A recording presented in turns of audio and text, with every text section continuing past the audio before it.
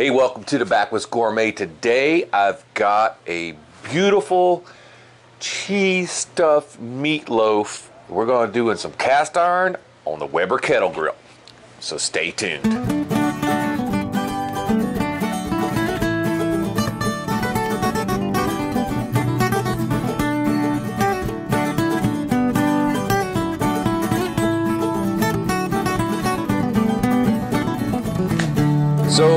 Everybody likes comfort food, and meatloaf is one of the nation's favorite foods. And it's great left over to make a meatloaf sandwich. I doubt that any of this one will be left over, but if you make a big one, man, I tell you what, that makes a great, great sandwich the next day for lunch. And also, we're to make a cheese stuffing for the inside. Basically, it's just to be some cheese. But we're going to wrap that joker in some bacon. So let me show you what you're going to need to make this beautiful and delicious meatloaf.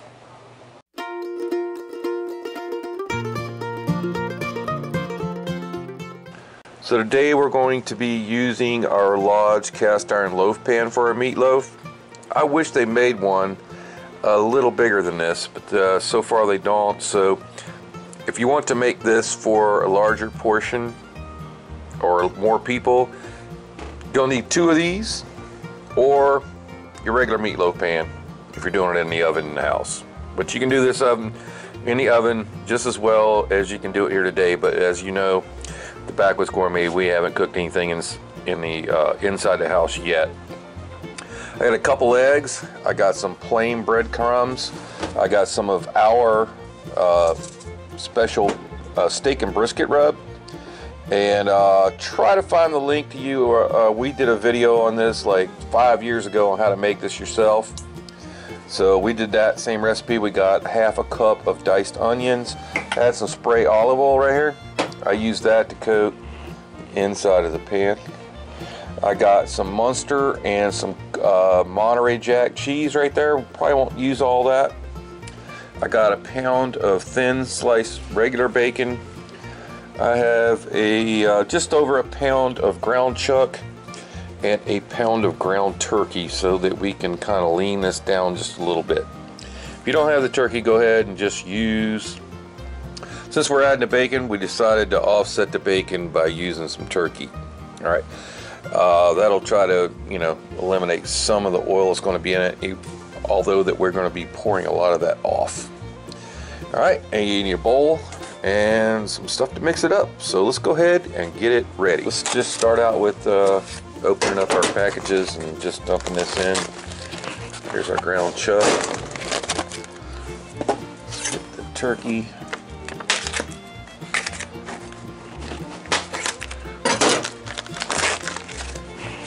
I love ground turkey. Don't know about you guys. If you like ground turkey, leave a comment.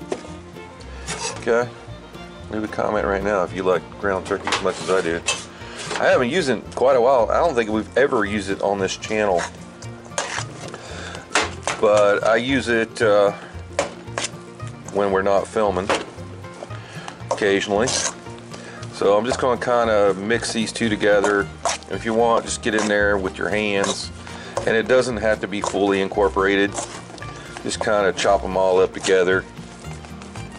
So you're going to get a little turkey little little ground beef in each bite. And uh, as usual our new puppy Cabela is running around under my feet. Hopefully she doesn't attack the tripod. She's in a wide open mode right now. And uh, so stick around for the puppy bomb, which will be coming up later. Alright, so into that, going to season that pretty liberally. We want some good seasoning in it. So this is uh, salt, pepper, garlic uh, base with thyme uh, and rosemary. And if you want those amounts, uh, like I said, I'll try to leave you a link in the description below where you can go see how to make it yourself. And that particular season right there has let me walk in three or two out of the three pro barbecue competitions that I've entered. Two out of three we actually got to walk. That means we got an award. We had a second place in brisket and a seventh place in brisket against some uh, pretty big teams. All right, so we got the seasoning in. Now I'm gonna go ahead and dump all the onions. Gonna put those right in there. That's gonna help with some moisture level too and flavor. So we're gonna incorporate the, all of the onions right into the meat. So we'll get that done and I'll show you how to put it together. And uh, by the way, we already got our Weber kettle grill preheating. So I've got my uh, onions in there the way but they're pretty well incorporated. I'm gonna go ahead and put two eggs right on top of the mixture. We need a binder here to hold this whole thing together so it's a loaf, not just a big ass hamburger. So I'm gonna go ahead and mix these in and then get it all nice and wetted up. All right, so I have both eggs in there. I'm gonna go ahead and give it maybe two, three tablespoons of the breadcrumbs. And this is gonna kind of be a by eye little thing here. Um, gonna depend on how much meat you have, how big a batch you're making. But you definitely want to fold it over and over and get some of those breadcrumbs in there, soaking up what egg you got. So we'll give it a few more, keep folding it over.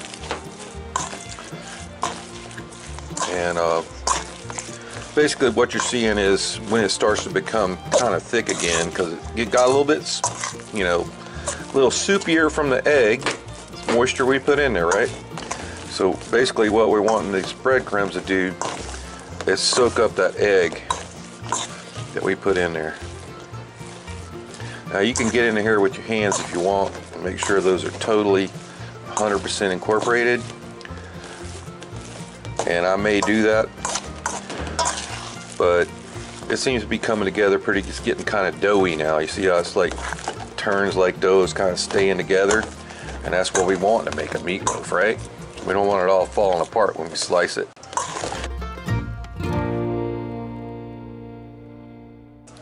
Okay, here's for the bacon wrap part. I don't, I don't think there's any easy way to do this, but I just usually just take, uh, start getting my bacon strips out, take a few out at a time. Now, but what you really do want to do, for sure, is you want to lay it in there loosely. You don't want to stretch it. Okay. Um, and it's not it's not uh, easy. Okay. We want to lay it in there so it conforms to the shape of the pan. And it may not completely cover the top, and that's going to be fine because we're going to put some sauce on it at the end you definitely want the bottom to be covered. So I try to find the middle of my bacon. Good idea is fold it straight in half, put that in the center, and you want each uh, strip to overlap each other.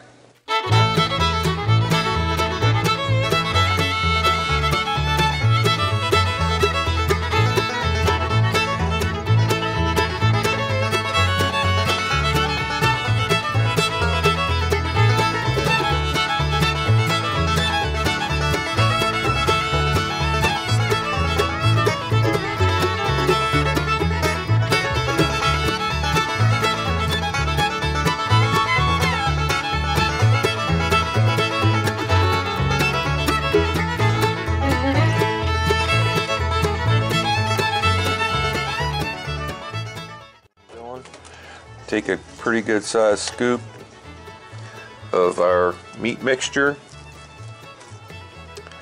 It's probably enough. And I'm just going to take, go ahead and take the back of the spoon.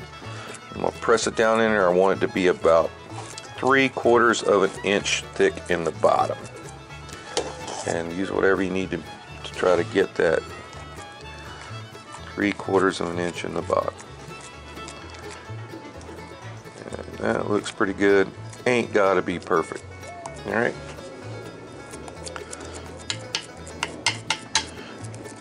That looks really good. Now I'm going to take another smaller scoop, put it on this end. Might be a little bit too much. I want about a half inch of meat on the ends of my loaf pan. Okay, it's going to seal in what we're going to put in in the middle. All right, a little bit more there. A half inch there. Remember, we're trying to save enough to make sure we got some on top too. All right, so however much meat you got, make sure you're you're uh, making it go farther. Again, on the sides, about another half inch.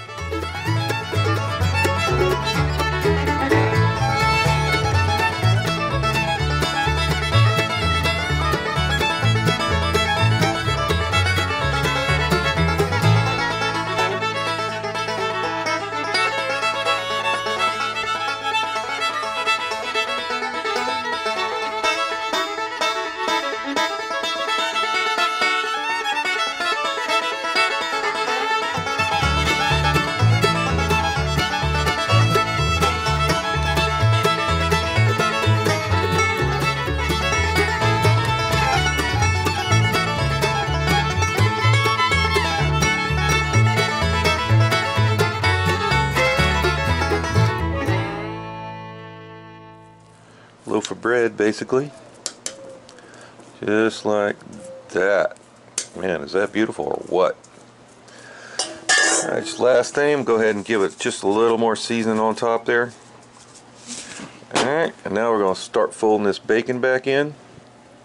And you're not going to get the whole strip. The strips are just not long enough to go all the way under the bottom. Believe me it's the flavor that you're going to want here. And that's kind of why we did that ones down the middle. So I'm going to pull now you can stretch these out a bit okay if you can if they'll stretch. Bringing them over just like that.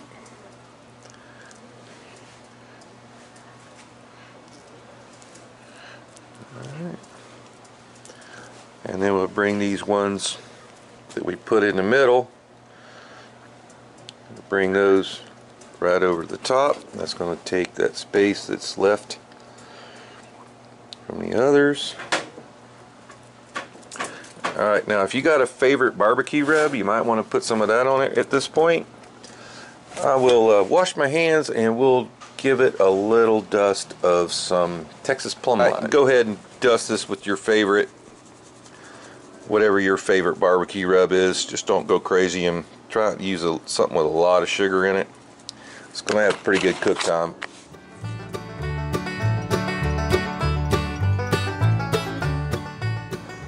Okay, Weber kettle grill set up. Uh, I've already got my, these are sweet potatoes that uh, we're already putting directly over our two Weber charcoal baskets. We're running our grill at 350, 400, somewhere around there. Try to keep it close to there as you can. What we're going to do now is we're going to put our meatloaf right in the middle. Right there. Okay, check my potatoes. Some of them are getting pretty close, I'm going to take that one off the direct heat, put them over here to the side. These smaller ones are going to cook a lot faster. And I've kept my flip-ups over these coals in case we have to add some uh, some more to finish up. Again, lid back on. It's to hold your heat. Make sure your vent is in line with your food.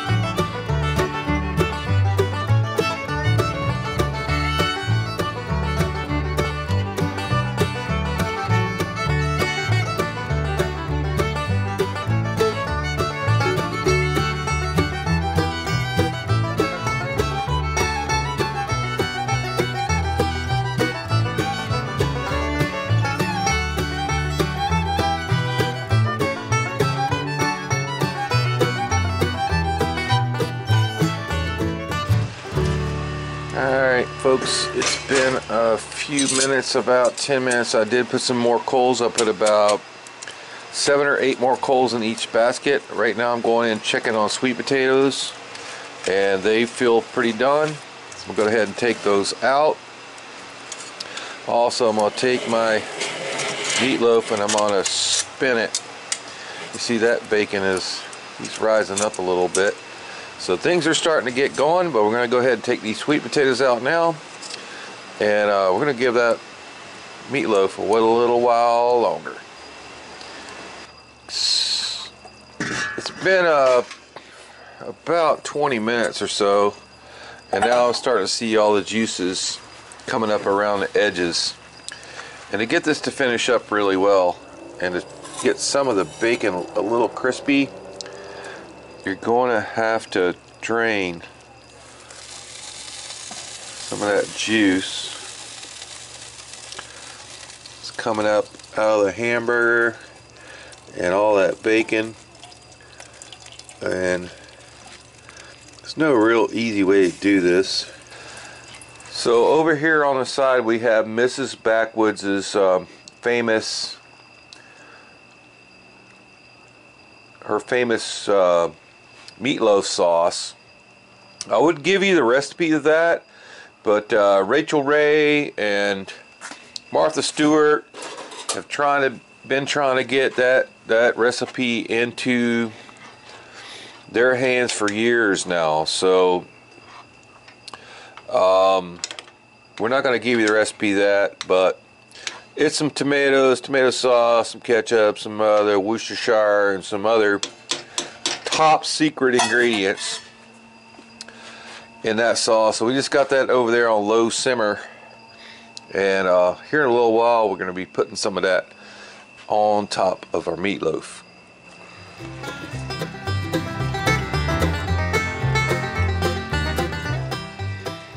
So Houston, we have a problem. We got a cheese blowout. All right. So that means we probably went a little too far. Take just a little bit of our sauce.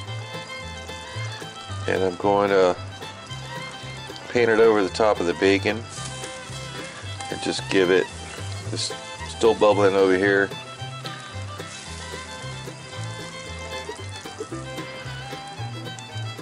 So just a little sauce. We'll give it a couple more minutes.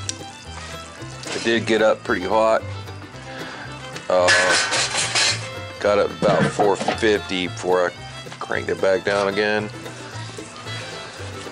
just a couple of minutes gonna go ahead pull that lid off of there and uh, man, I wish we hadn't had this cheese blowout, but probably left it a little too long, but looks awesome. Let's go ahead and take it off.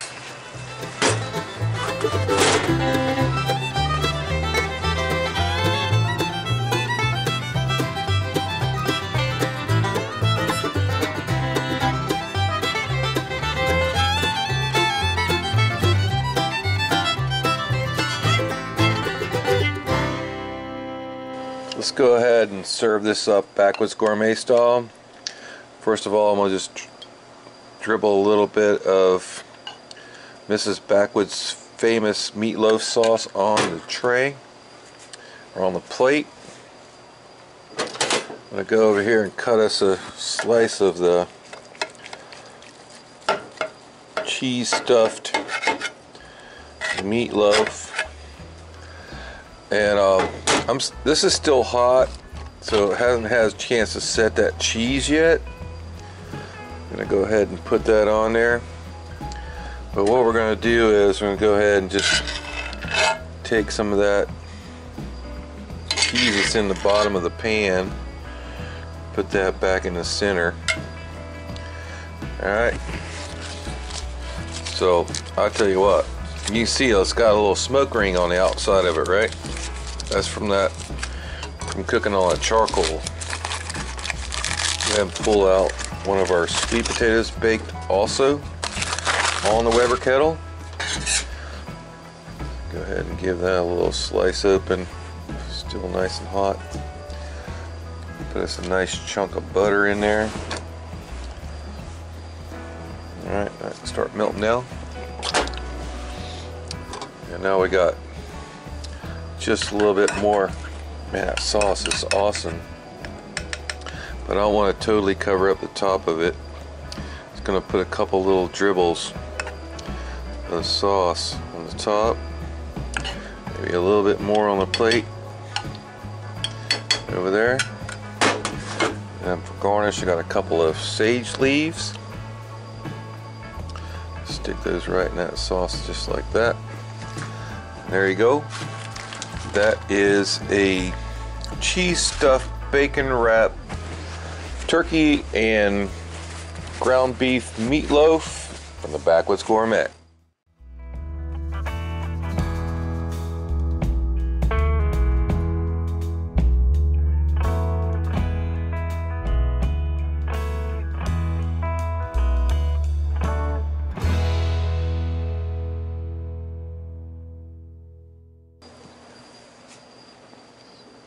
So you want to buy that. I know you do. All right. And everybody on the channel always wants me to taste the food. I, you know, and I'll just say this right now: you can't trust the chef's opinion of his own food. That smells and looks awesome.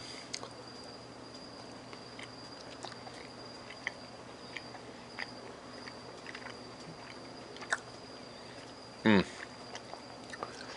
Just a little bit of smokiness on the outside there.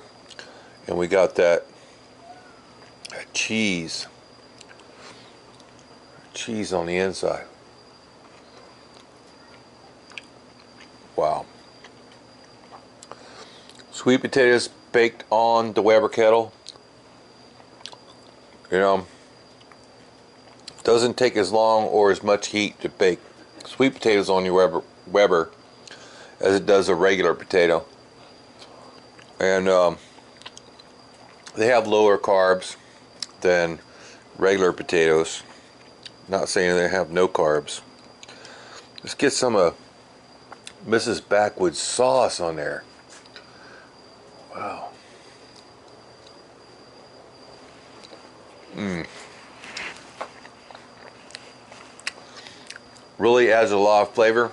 So if you like what we're doing, please smash that like button right down there. You can subscribe to our channel right over here for another great Backwoods Gourmet video. It's going to be right up there. And for a whole playlist of cooking on the Weber Kettle Grill, be right up there. We'll see you next time.